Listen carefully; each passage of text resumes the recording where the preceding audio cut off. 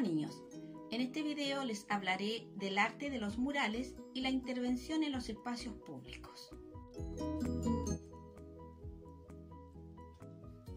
El mural es una técnica de pintura figurativa que se realiza sobre un muro o pared y también pueden ser no solamente pinturas, sino que mosaicos o cerámica.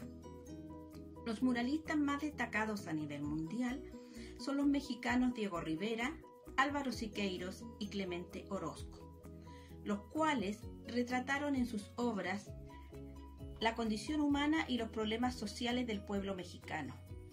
El mural es un lenguaje pictórico, una forma de hacer comprensible la historia de un pueblo. En Chile se destacan Julio Escames con el mural de la Municipalidad de Chillán, Gregorio de la Fuente con el mural de la Estación de Concepción y Nemesio Antunes con un mural realizado para las Naciones Unidas. En el año 60 aproximadamente aparece el muralismo colectivo, con el nacimiento de la Brigada Ramona Parra, de tendencia política, realizando un trabajo coordinado y efectivo.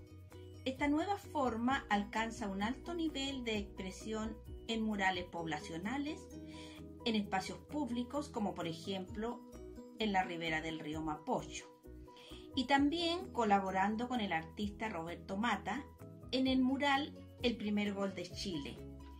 Importante Roberto Mata que ya lo hemos tocado en algunos otros videos. Actualmente los murales forman parte de casi todas las estaciones del metro, en sus diferentes líneas, logrando que el arte muralista llegue a un gran número de personas diariamente, en forma gratuita por supuesto. Destacaré el mural de Mario Toral, ubicado en la Universidad de Chile, llamado Memoria Visual de una Nación. Este mural está dividido en dos partes, el pasado y presente de la historia general de Chile, el cual ha sido reconocido mundialmente por su contenido testimonial y premiado. Y el de Roberto Mata, ubicado en la estación Quinta Normal, llamado Verbo América, inspirado en el continente americano y su origen cósmico. Este mural fue regalado al Estado chileno con el objetivo de que fuera exhibido en un lugar visible para todos. El mural presenta la geografía, la flora, la fauna y los pueblos originarios. Es como un Edén americano.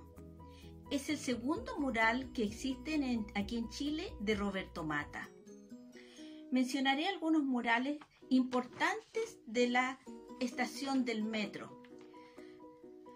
Los héroes, por ejemplo, Constelación de Pablo Masclar.